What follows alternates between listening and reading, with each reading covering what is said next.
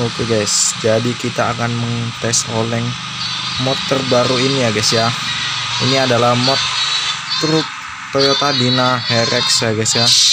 By Vicky Vicky Creation guys. Oke guys, ini malah ngelek-ngelek ya guys ya. Langsung kita tes oleng aja guys ya. Ini suspensi real guys. Modnya guys suspensi real muatan gayor ya guys ya. Mantap ini guys modnya guys. Toyota Dina Herex guys. Wah hampirnya rempet Avanza guys ya.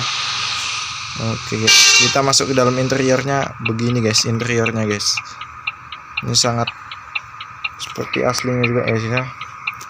Untuk wipernya pun hidup guys udah mantap ini guys.